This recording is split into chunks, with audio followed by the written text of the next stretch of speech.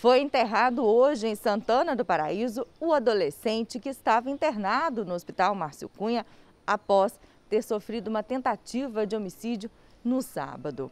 Micael Lucas Ramos, de 15 anos, foi encontrado caído na Avenida José Catarino Pessoa, no bairro Industrial, em Santana do Paraíso, todo ensanguentado e ao lado dele havia um bloco de concreto. Micael não resistiu aos ferimentos e morreu nesta segunda-feira no Hospital Márcio Cunha. No sábado ainda, a Polícia Militar, após ter sido acionada, começou as diligências e chegou até o nome de um adolescente. Ele foi localizado e negou a princípio o crime. Esse adolescente tem 17 anos.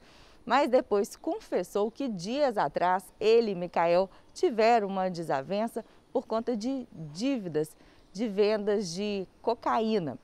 Micael então chamou esse outro adolescente para conversa em uma granja, eles se desentenderam.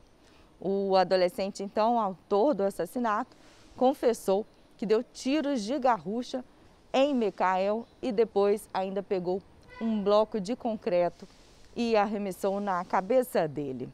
A polícia vai investigar o caso porque tem indício de participação de uma outra pessoa no caso. E o adolescente descartou a arma em uma lagoa.